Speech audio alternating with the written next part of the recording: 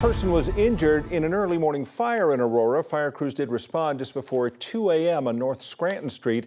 That's just north of the Anschutz Medical Campus in Aurora. Firefighters say they were able to put that fire out quickly.